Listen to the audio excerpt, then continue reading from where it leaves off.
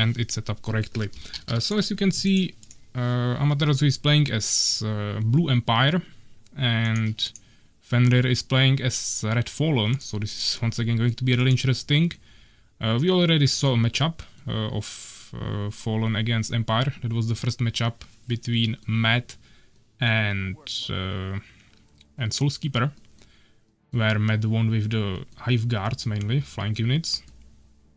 Uh, good luck, have fun. Really iconic thing from RTS games, usually Warcraft. Uh, we see a quick farm here, blocking the path. I would say it's still more common to build barracks first, but uh, at least he's blocking the path, so definitely something to look at. Uh, I can see some bets in the chat, but I don't see the uh, bet window anymore, so we'll see after the game. Uh, going for a quick hive. This is really interesting. I probably never saw this. Building the deformer like on the side.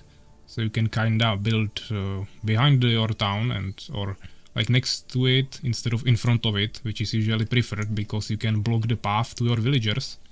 Right now uh, Amaterasu can just walk here with his swordsman and start harassing the harvesters with no buildings uh, blocking his way. And uh, finally building barracks. Uh, yeah, I cannot really see the if you wrote me already, if the sound was uh, bad in-game or outside of it, so I don't know if you I should fix it, but to be honest, uh, the in-game sound for me right now feels really low. I can barely hear the music. Of course I don't know how it's on the stream, but for me it's really low, so I would actually bring it up a little bit, but let me know if this is fine for you. I mean the sounds are quite okay, but the music is almost unhearable for me.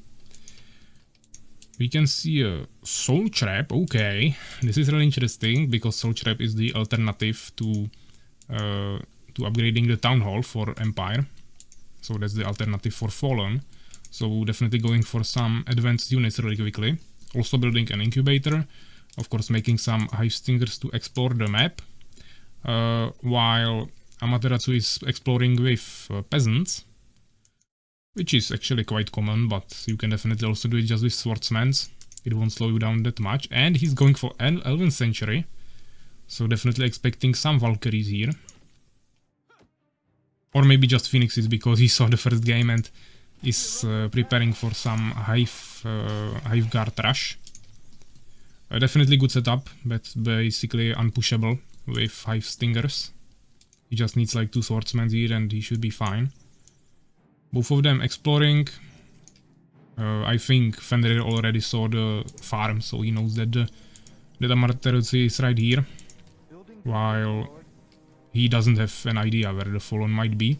He's still running to the corners, or I mean, he was already down here, so once he explored this area, he will already know that uh, the enemy must be in this area. He finished the soul trap and uh, is building another hive, so that's actually quite interesting. I was expecting a Vengeance Hall or maybe even a Dimensional Gate, but uh, fine. Uh, not producing any harvesters. We can actually uh, check the populations 25 and 21. Uh, going for upgrade to Stonekeep, so I'm actually expecting some Valkyries now. It would make sense. Spending resources on more farms, also definitely smart. Uh, I think yes, the right amount of villagers here. Maybe a few more peasants on gold would be fine, but he's still building, so that's okay. And he definitely need to upgrade his Stonekeep now. Uh, exploring here, okay, he found where he is. Or he didn't see any buildings, but I mean, it's quite obvious. And he didn't see any buildings on the other uh, positions, so it's actually... He can be pretty sure that the enemy is right here. I mean, building a soul trap so early is really good in terms of gathering experience, because Fallen has this special ability that he's uh, gathering collective experience for all of his units, so building a soul trap is really important, otherwise you cannot level up your units but I would say it's if he already builds it, it's just better to go for some advanced buildings Maybe he's going to build a deformer, yeah, just to increase his space, even though he has space here.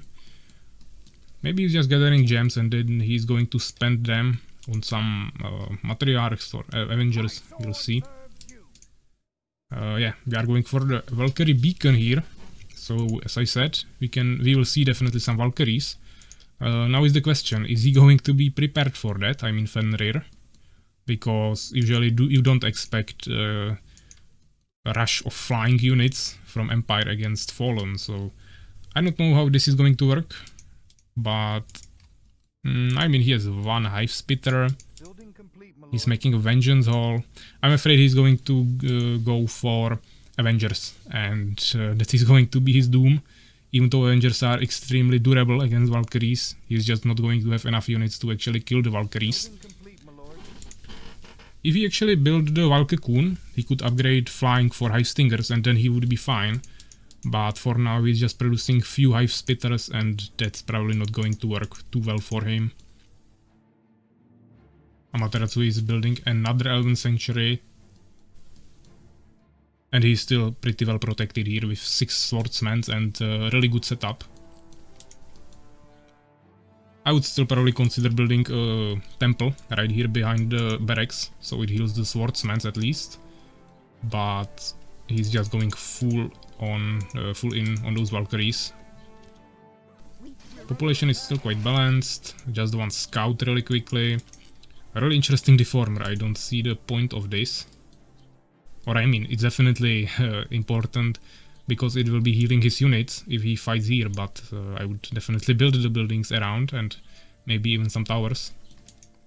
Or, or expansion or anything, but he's just creating this huge uh, fallen place or area.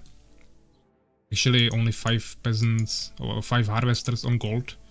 I usually go for 6 as fallen, but okay. This won't be slowing him down that much. We can see two Valkyries already made. One more is being produced here. We must build more farms, my lord. Yeah, so he's just going to accumulate some more Valkyries and then probably just attack him and he's actually going for expansion, so can definitely see uh, some planning right now. Uh, by the way, also let me know if you see everything right. Uh, if the stream is uh, not laggy or anything, or you see the resolution right there, just all the technical issues so we can get them out of the way. Because I see everything correctly, but I am looking on OBS right now, so it is not laggy there, but maybe on the Twitch it can translate a little bit worse, I don't know, so uh, just confirm that uh, you can see everything right and you don't have any major lags or stuttering or I don't know, blur. uh, I mean, if he waits really long with the Valkyries, potentially this expansion could be finished and he's actually going for some nightmares, which is really good because that is going to help him against the Valkyries. Definitely more than if he did some uh, other units in the Vengeance Hall. Complete, but the problem here is that uh, he has like 3 units against flying units and once the Valkyries move I don't think he will be able to destroy them. He's actually making phoenixes so he definitely expects some hive guards which is smart because most Fallens would make hive guards actually especially against humans. We saw it in the first game against Empire but uh, it didn't happen in this game so the phoenixes are to be honest just a total waste of resources for now. Also time but probably not going to affect it too much. And I mean, he also has the swordsman, so he can kill the units even faster. Although they will be probably just stopped by the Hive Stingers. Uh, building towers, definitely a smart decision. Without him even knowing maybe, but... Yeah, because he didn't see the Valkyries yet, he has no idea if... And he's not exploring anything. I mean, here is one Hive Stinger, but Actually, okay, uh, I take it back, he has one Hive Stinger here, I didn't see him. Uh, so he would know about an expansion, but uh, it still doesn't give him like a clear knowledge of the Valkyries. because uh, the human could be still accumulating some catapults here or something. So Valkyries are not the only option. And they are finally moving. He seems pretty confident. I would definitely just send one Phoenix there to explore the area. But okay, he's just going for it. Uh, I mean, here are zero towers. Also the units are on the side. So if he just flies around, he can actually just start harassing those harvesters. And yeah, I mean the units even moved to this area for no reason because now he's not protected by the towers that are in this area. And since he doesn't have the Wild Cocoon, all those Hive Stingers are totally useless for now. And I mean, it's definitely strong. The Frost Shield is giving you free armor, which is really powerful against Valkyrie. I actually think it's maybe 6 since he, she has two types of damage, but I'm not 100% sure about that. But uh, yeah, this seems like uh, like GG. I don't think he can turn it around. The Valkyries will just uh, destroy the towers and then there is basically no threat for him. Yeah, he actually the Hive Stingers attacked at home, but yeah, may maybe he will kill the Swordsmans, but any Valkyries will just destroy the Hive Stingers with no problem, so not going to change anything. He's actually rich reading with the Valkyries because maybe he was expecting something bigger. Uh, expecting uh, something bigger, yeah. Uh, this is definitely bad. He was waiting with the Harvesters for too long, losing momentum. He has lots of gold, or not lots of, but 300 is pretty decent, but he's definitely short on gems. Oh, sorry, I was, yeah, the color actually confused me. Uh, this is not the red one, this is blue enemy and the red fallen is actually Fenrir, so he has lots of gems. Uh, of course he's lots of gems because uh, Amaterasu is spending all of his gems on Valkyries, so he definitely couldn't have 700 gems. But Fenrir just doesn't have any gold right now.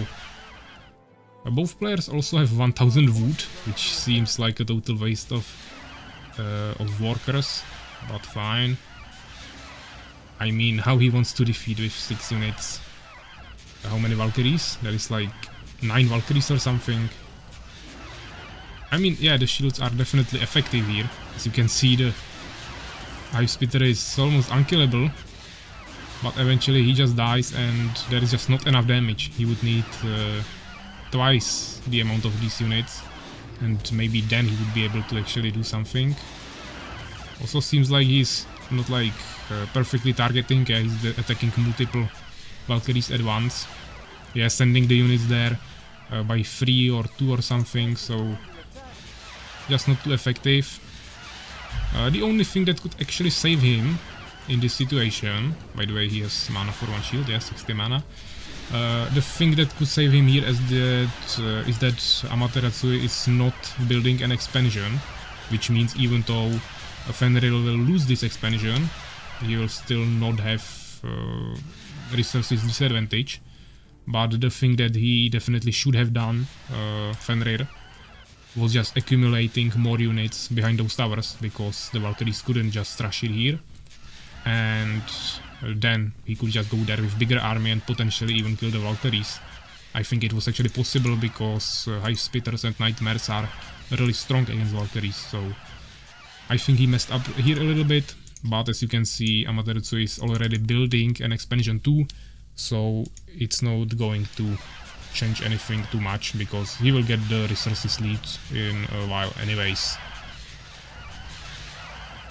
Yeah, so just destroying the Dark Fortress here, that's going to be a really quick process. Uh, Fenrir making another Hive Spitter, another Nightmare. You can check the resources, population, yeah, you can already see how he just wasted some units here. And now he's almost 20 population behind, yeah, like 16 or something. Uh, one Hive Stinger, uh, he spotted the expansion, but to be honest, he just cannot do anything with that. He has one more Hive Stinger here, but yeah, he'll probably kill the peasants. Actually, he at least slowed it down. But uh, yeah, he just decided to spend some resources on swordsmans. Maybe the summoner will escape if he doesn't pay too much attention, but yeah, he will just hunt him down with more Valkyries. Now he'll probably be surprised by the towers a little bit, I think. He will definitely need to turn around, but the problem is that Fenrir probably just cannot leave this town right now. He don't have enough units for that. And that means that he won't be able to destroy this town hall, so eventually he will just uh, lose on resources. And I also don't think he can build an expansion because uh, I don't think uh, the Valkyries will give him enough time to build towers or anything and he cannot defeat them just with the units. He could potentially build an expansion like somewhere around here or something, but uh, that would take like still a, really long time and there is a chance that he would uh, be spotted by the flying units or some random running swordsmen. So it's still not too effective. But to be honest, if he keeps uh, going for Valkyries, I think uh, Fenrir can actually just kill it with Hive Spitters and uh, Nightmares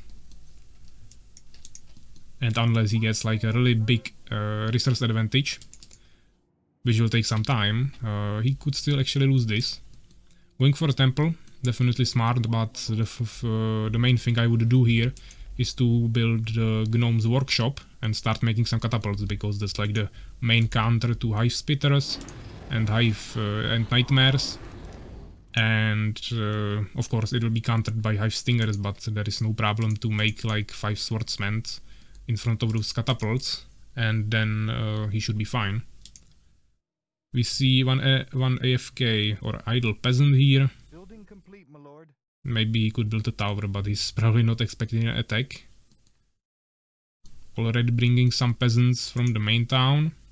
Definitely can bring them from the wood. I don't know why both of them have 1700 wood. This is like uh, quite nonsense. I don't know why you would make so many villagers on wood.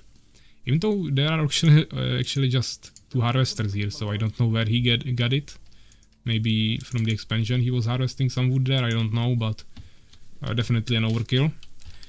Uh, yeah, the Valkyries are injured, so he will just heal them here, but he's also making a, a priest. Still producing more Valkyries. Uh, zero upgrades, this is a big mistake, I would say. He doesn't have Blacksmith, so he cannot upgrade uh, Valkyrie's damage but he can definitely at least upgrade their armor and HP in the Valkyrie beacon, so I would say this is a really big mistake. We see at least uh, one upgrade for damage on Hive Spitters, uh, but that's also not like something uh, too huge, so I mean it's it doesn't really matter, yeah, one upgrade on one side, zero on the other side. Uh, one swordman scouting this area, uh, of course, all he needs to do is scout the entrances from the ground because there is no way the Fallen is going to go for flying units now. Or potentially he could go for Stalkers to destroy the Valkyries, but uh, I mean, to destroy this you would uh, need quite lots of Stalkers and you still will be, damaged uh, by the Phoenixes by a lot. Because they have the Nova explosion ability. That will definitely damage the Stalkers uh, a lot we can see 10 hive spitters here and 6 nightmares. And he's actually going for the secret expansion as I mentioned earlier that he could do. The question is that uh, the question is if Amaterasu is going to explore the map either with Phoenix, Valkyrie or just a swordsman, but it's really easy to explore with Phoenixes and overall just any flying units. So he could do it, but I'm not sure if he's going to explore actually. So we'll have to wait a little bit and see. Maybe he's just going straight for uh, for the main town, but it seems like he's going to check this expansion because he's expecting uh, Fenrir to rebuild what he lost. But now it depends if he will decide to check the other uh, other areas. Seems like he's going around. Maybe he wants to attack from here because of course there are no towers uh, maybe he doesn't know that, but he can kinda expect it to have no towers uh, back there. He also avoided all the towers in the front. Now is the question, is he going to defeat it with this? I think he actually could, if he if he targets it right and uh, he utilizes all the shields, because as you can see, he just shielded all of his units, except like one Hive Spitter here in the front that is already almost dead. Uh, and now the Valkyries are also flying uh, across the towers, definitely getting uh, destroyed a lot. Uh, sorry for the Discord sound. Probably just someone wrote me in the DMs. uh, try to not do that. Uh, do that during the tournament, of course. I have to open, have the Discord open so I can write the participants to join the game, but I don't know if I can actually mute the DMs. So um, it's just there on the background. I muted the server, of course. Uh, so yeah, the Valkyries retreated. As I said, I don't think it's uh, the right and smart idea to go for more Valkyries. The Fallen can just easily counter them with this army alone. You just need like, I don't know, 8 Nightmares and, uh, um, I don't know, 20 Hive Spitters. And he will be fine. Each Nightmare has mana for 3 Frost Shields, because it costs 60 mana and you have 200. So you just need to have uh, one third of your army uh, nightmares and the rest can be hive spitters. So you can have like 20 hive spitters, 10 nightmares and to be honest that would maybe kill a full population of Valkyries. Uh, the expansion is finished, building one lightning spire definitely smart, but to be honest, uh, one lightning spire is not going to save you for a full army of Valkyries, but it would definitely help if like a swordsman ran here, so at least something. But the main thing he should focus now on uh, are the harvesters, so making more workers for his expansion. Uh, his main town is definitely running out of gold really quickly. So definitely uh, going to have to do something with that. Of course in both towns, yeah, but uh, the Empire was at, at, least harvesting here for some time already, so he should have a resources advantage. Just a small lead, but actually, as you can see, it's like uh, it's like 40 more population uh, captured or used by the Empire. Just a quick spot. Uh, this is actually quite smart because when the nightmares have uh, frost shields on autocast, they will just cast it immediately when enemy unit is close and they start attacking it. So if the Empire wanted to actually counter this, he just needs one swordsman, run there, waste all the mana of the nightmares, and then just destroy them with the Valkyries. So that would be definitely the smartest idea to do here. Uh, of course, if Fenrir uh, was more advanced player, he would not have it on autocast. He would either turn it on autocast uh, right before the uh, the combat, or he would maybe even cast it uh, manually, but yeah, definitely don't want to have it on autocast when you are not fighting and you are in no danger. Also, he should definitely have some scouts here. He had them before, but then they died and now he's not making new ones. Uh, seems like Valkyries are maybe going to check this area. Or maybe he's just attacking the same way he did before. Yeah, seems like that. Uh, already can see some harvesters in the expansion. The army is pretty far, few units here, but Maybe going to lose his incubator. Some more harvesters, maybe even a soul trap. Yeah, but he spotted him. He's going for the villagers definitely, but they are going to move away and now the Valkyries are totally useless here. They are going to get some hits. But at least they wasted the mana. Now they can just fly away and maybe return after that. Uh, he could he should definitely upgrade this uh, to charged deformator, also the second one, because it uh, shoots on the flying units and also slows them down by like 90% or something, it's totally broken, so he would definitely catch at least like one Valkyrie with uh, each of the deformators, and he would kill some units. Uh, going for second Vengeance Hall, he just doesn't have resources to be honest, but yeah, maybe he's going to fix that with the expansion really quickly. Valkyrie's still flying around. I'm wondering if he's going to finally check this area. Yeah, as you can see, he has actually some rally points and another is here. Yeah, so with shift click he just uh, wanted to check all the expansions. Actually, he's another army. That's interesting, but now he's going to spot it. Uh, Fenrir doesn't know about it and he's going to lose his expansion. That is totally unprotected, just one lightning spire. So this is going to be a really big hit the question is what is going to what is Fenrir going to do with that? He can I mean the best thing he could do probably is just attack. But as you can see here are some pikemans prepared that are going to deal with this army really quickly. And also if he attacks uh, he might just get his town destroyed by the Valkyries. He actually maybe decided to split his army.